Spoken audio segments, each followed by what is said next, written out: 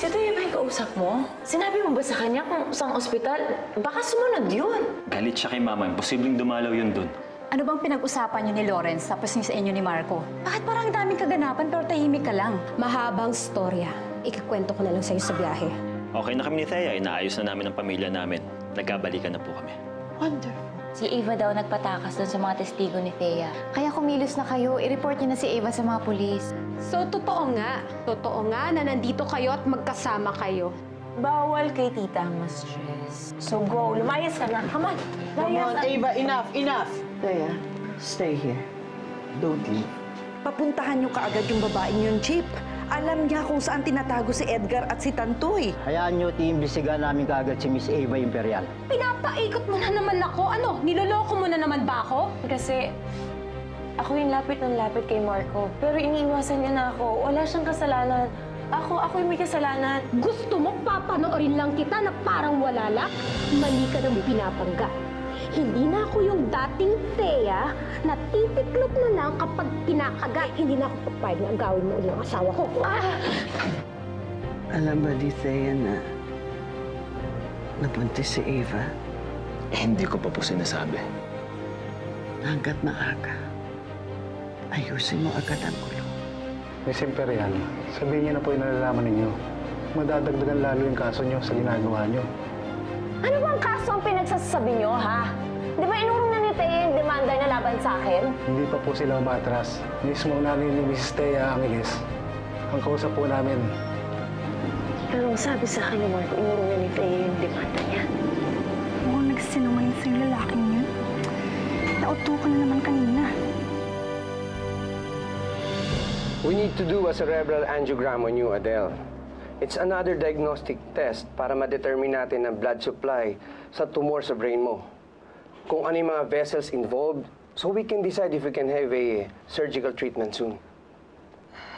Bernie, I'm ready. Do anything. Do anything that you can. I'll place you on NPO mula sa oras na to, okay? Okay.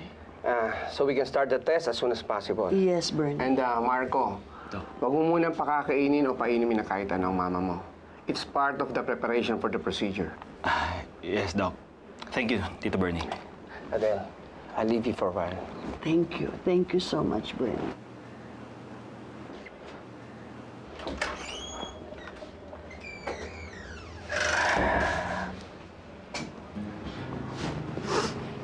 Ma, huwag kayong mag-alala, ha? Kasi kahit ano man ang mangyayari, alam niyo naman nandito lang kami dalawa ni ate, ha? Yes. Alam ko naman yon anak. Kaya lang, hindi mo rin maaalis sa akin na kabahan. Don't worry. I'll just be here. I'll stay here, okay? Thank you, anak.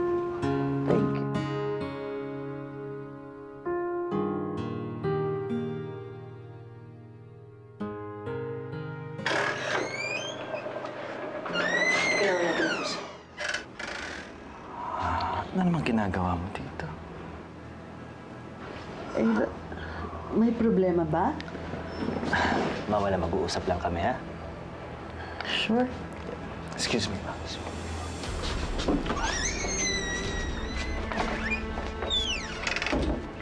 Hindi ka ba talaga titigil, ha? Ilang beses ko ang dapat sabihin sa'yo na huwag ka nang pupunta rito para maintindihan mo. Pati pagpapahinga ni Mama, ini-istorbo mo.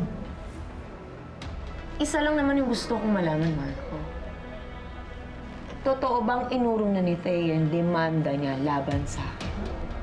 Oo nga, di ba? Binawi niya na. Di ba maniwala ka sa akin?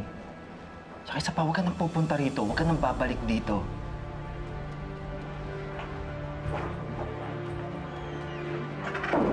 Eva? Wala na. Lokohan na dito. Sama mo ko. Saan? Basta.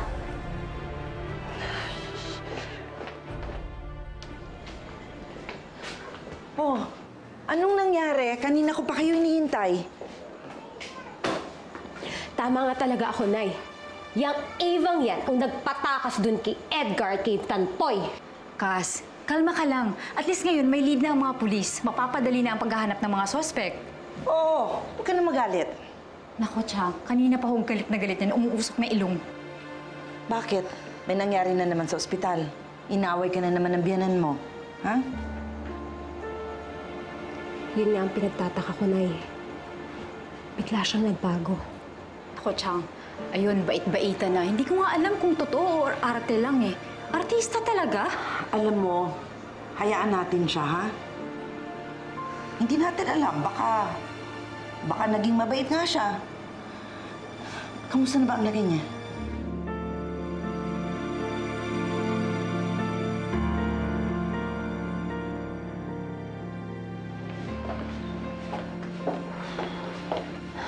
Marco, Ate, si Mama. nasa loob may ginagawang test si Doc Bernie para malaman kung kayang daanan sa operasyon yung tumor ni Mama. Ate, ikaw na munang bahala kay Mama. Alis lang ako. Saan ka pupunta? Kanya Thea, hindi ko na pwedeng patagalin to eh. Ang alin? Kailangan niya nang malaman ng totoo. Kailangan niya nang malaman na buntis si Ava.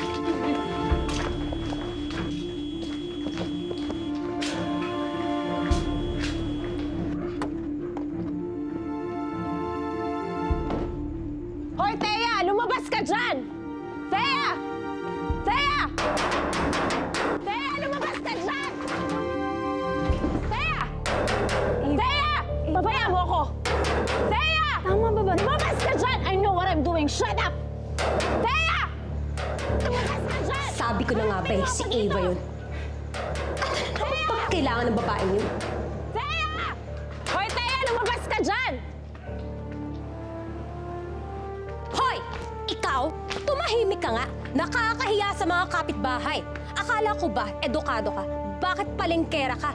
Ako, nahihiya ako sa mga kapitbahay ko. Wala akong pakialam sa kanila. Buksan mo tong pinto! Ano ba problema mo, ha? Wala dito si Marco. Hindi ko alam kung nasaan siya. Hindi siya ang kailangan kong makausap, kundi ikaw. May kailangan kang malaman.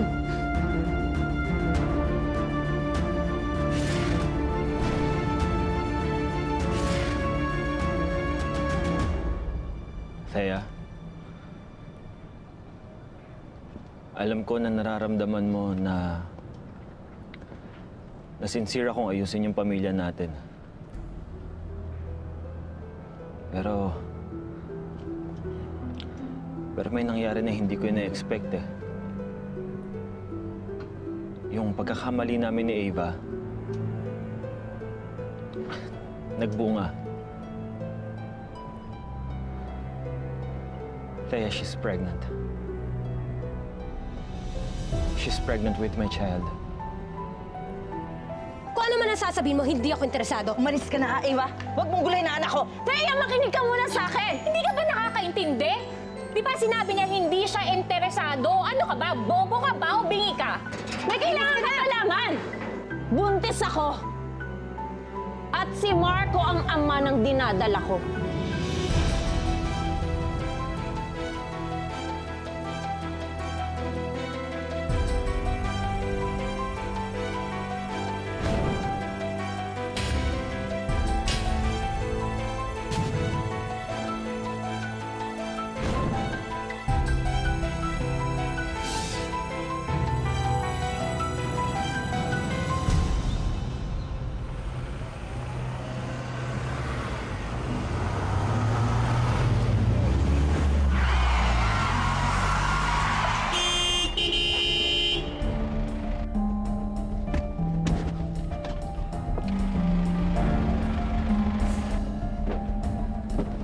Problema? Oh, Lawrence.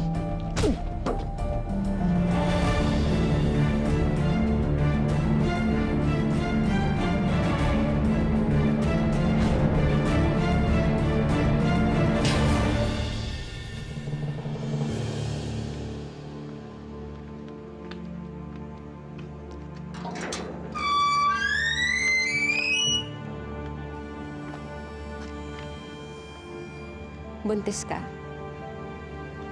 Hmm, Tama ba yung narinig ko? Buntis ka? Ako ba yung bingi o ikaw? Yes! Buntis ako. Magkaka-baby na kami ni Marco. Kukunin kitang ninang, ha? Utot mo, Ava. Akala ba maniniwala ako sa'yo? Bumili ka nga ng kausap mo. Pero totoo nga buntis ako. Umalis ka na, Eva. Nananahimik kami rito. Alam mo, ikaw, nakakaawa yung pagiging desperada mo! Gusto niyo ng proof na buntis talaga ako? Gusto niyo? Pwede ba tama na? Pagod na pagod na ako sa'yo! Wala ka nang ginawa kundi paikutin ang asawa ko kung siya napapaikot mo. Pwes ako hindi. Dahil una pa lang, bistado ko na ang baho ng pagkatao mo. Ayaw mong maniwala? Ayaw niyong maniwala sa akin? Fine! Bibigyan ko kayo ng pruweba. O, ito. Ito ang pruweba. Ultrasound ko ng baby ko. Check mo. Go! Yan ang magpapatunay na buntis talaga ako. At si Marco ang ama ng magiging anak ko.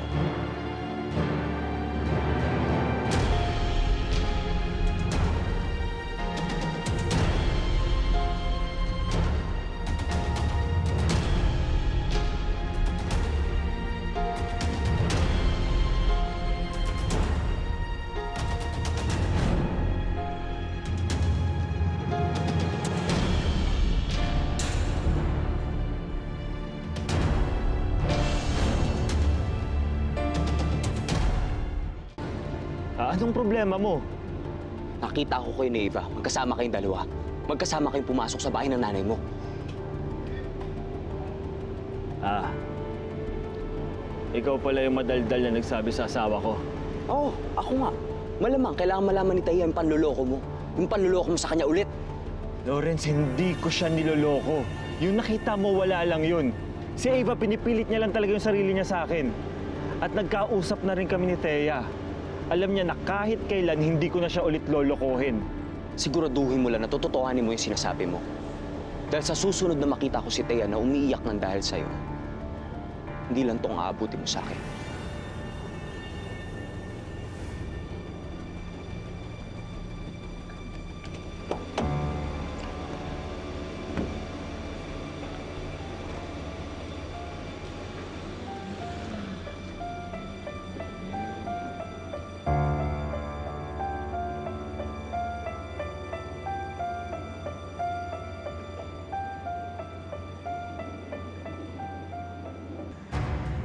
Ko, anak. Buntis nga yata siya.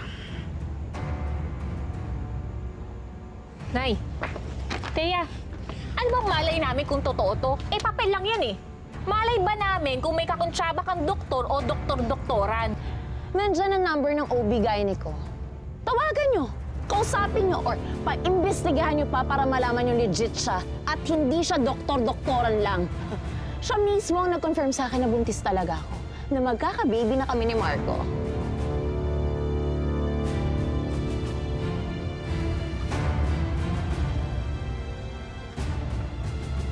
Alam ba ni Marco?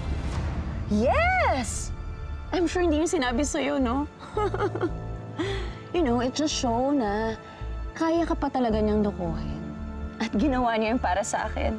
Actually, hindi. Para sa magiging baby namin. Kasi ganun niya ako kagusto. Ganun niya ako kamahal. Eh di natameme ka sa result ng ultrasound ko, ano? Alam mo kung no reaction ka dyan, eh congratulate mo na lang ako kasi magiging mommy na rin ako just like you. alam nyo, alam nyo, kung nandun lang kayo habang nalaman ni Marco Sana nakita niyo reaction niya. He was just so happy. Sobrang saya niya. Sobrang excited siya na magkaka-baby na kami. Ninang ka ha? And pati kayo, padadalan ko na ng invitation. Kahit wala kayong pang regalo, it's okay. Bernie, Yes. I'm so glad to see you. Nagbilin na ako sa nurse.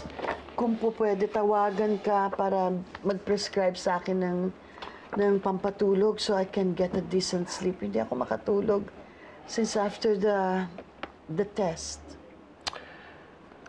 Adela, dala ko tong initial reading ng angiogram mo. Oh, anong balita? Medyo malaki ang tumor mo. Adele, at ah, may mga ugat na apektado. So, I'm sorry pero hindi yun pwedeng operahan. Ha? Talaga. Ah! Lahat talaga gagawin mo no? para sirain ang pamilya ko. Tapos, ngayon sasabihin mo sa akin, buntis ka? Ha? Malandi ka kasi. Ano ba? Siniraan mo na nga ako. Pinagtangkaan mo akong patayin. Tapos ngayon sasabihin mo sa akin, buntis ka? Ha?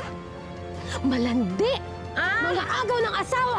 Nangawasak ng pamilya! Aray! Eva! Aray! Eva! Hayop ka! Anak, anak! Baka buntis nga siya! Malay pa natin kung nagsasabi na totoo yung babaeng yan! Sinungaling kaya yan! Mas sinungaling pa yan kay Pinocchio!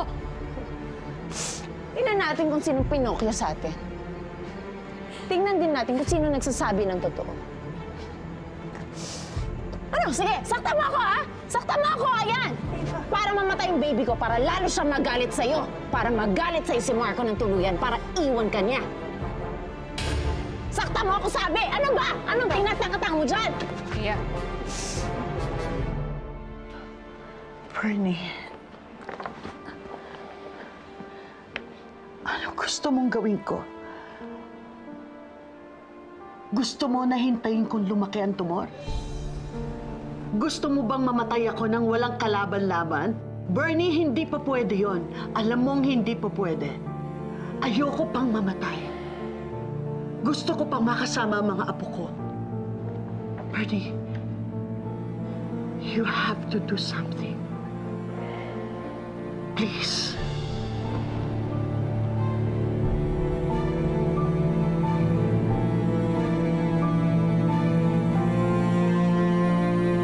Ayan, ka na. Hindi ko alam kung paano ka pinalaki ng mga magulang mo. Pero hindi ipinagmamalaki ang pangaagaw ng asawa ng mga asawa. Ang pagiging kabet. Hindi yan medalya o tropeyo na ipinagyayabang sa mga tao! Umalis ka na! Ikaw, gusto mo rin ako saktan? Ayun, sige. Saktan mo ako. Alis! Ava, umalis na tayo, please! Ka na! Tawa mo ako! Ava! Please naman! Ka na! Ka na! Diyos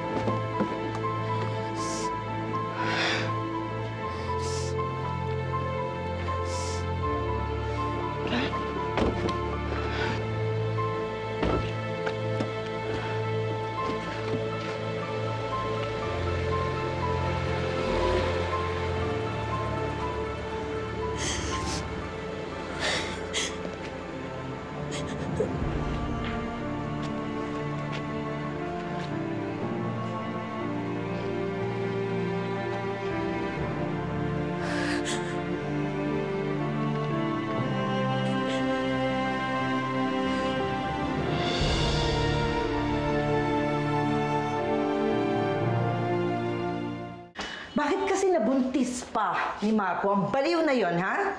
Lalo tuloy lumakas ang loob. Chang, natural na mabubuntis yun. Matagal sila magkasama ni Marco, kaya huwag ka nang magalit. Hindi, eh, pero kasi dapat si Marco, sinabi niya sa atin na nabuntis siya pa rin yung babaeng yun. Eh, tingnan mo kanina, nagulpidigulat tayo. Kasi nga, takot si Marco na umamin kay Thea. So, Olga, matagal mo na palang alam to?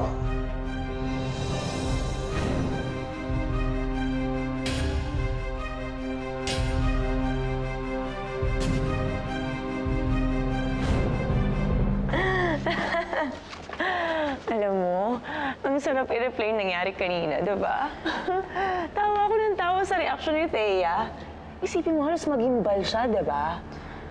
Napaiyak ko siya. Aminin mo yan. Aminin mo, ako nanalo sa round na to.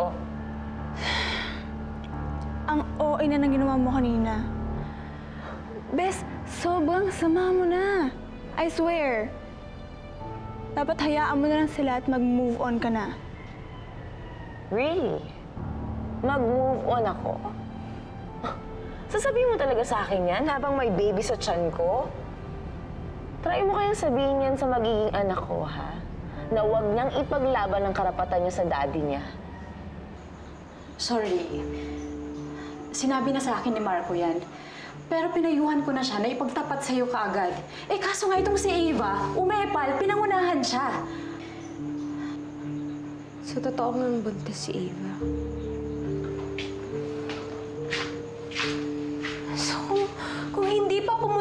Si Ava, hindi niya pa sasabihin sa akin. Hindi naman sa ganun, Cass. Ang totoo niyan, problemadong problemado si Marco dahil dyan. Gusto niyang sabihin sa'yo, pero hindi lang niya alam kung paano. Tsaka nangyari lahat ng to na nagkakamabutihan na kayo. Ito naman, ang lakas mga guilt trip. What I mean is, chill ka lang muna. Nabulabog mo si Thea. Oh, mission accomplished. No, no, no, no. Kulang pa yon. She insulted and humiliated me nung nakulong ako at hinuli ako ng mga pulis. Kaya kulang pa ang lahat ng yon. Tsaka ang sarap kaya asarin ng visit na babaeng yon. At kung feeling ni Thea, may ilalaban pa siya. Let her bring it on. Cause I won't give her the satisfaction na natalo niya ako. Di ba, baby? Hindi pa patalo si Mommy.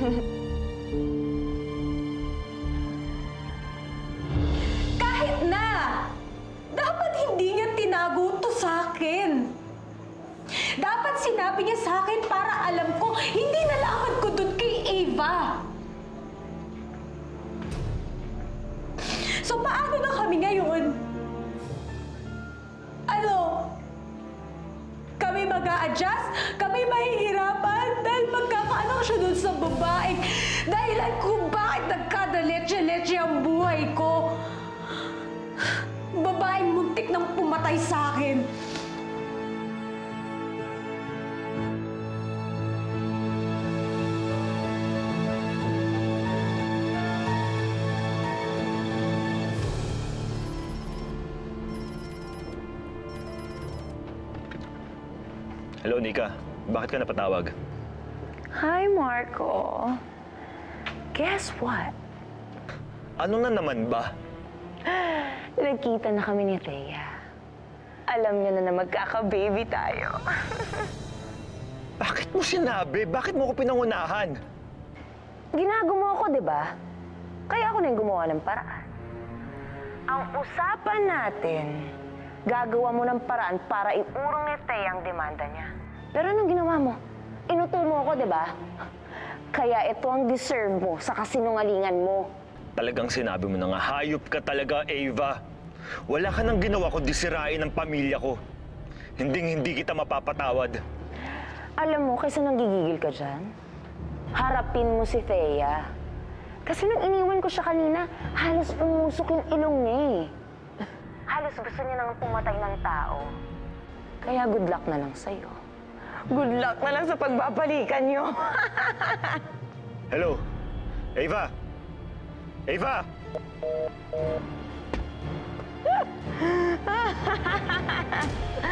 Thank you.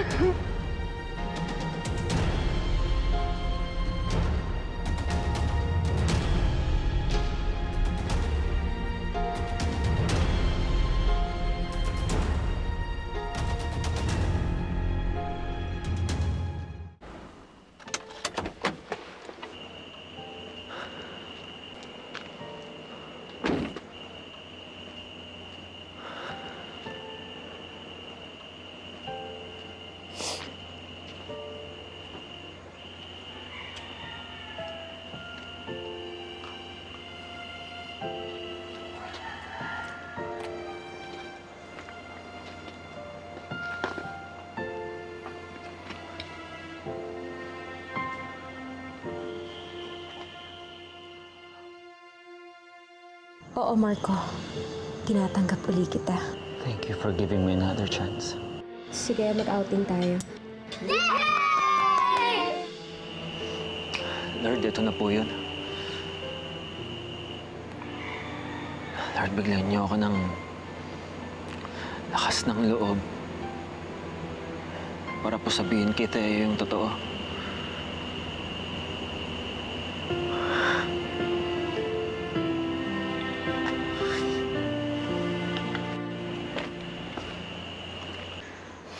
Mabuti na nga lang, wala yung mga bata kanina. Kung hindi, nakita nila yung ginawa ni Ava. Nako, Chang, mahabang paliwanagan to. Teka lang, sunduin ko na kaya yung kambal sa kapitbahay. Oh, eh baka sila na yan, ha? Hinatid na yung nanay ni Gigi. Ah, natin na nga.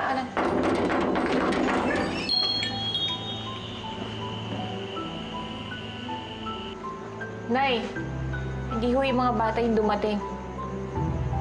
Si Marco.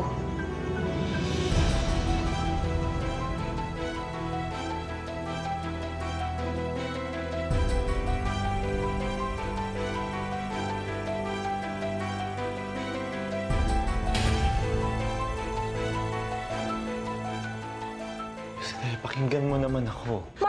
Nagkagulo-gulo tayo dati dahil wala kang tiwala sa akin. Tapos ngayon, wala ka pa rin tiwala. Hinayaan mo pa si Ava magsabi sa akin na buntis siya.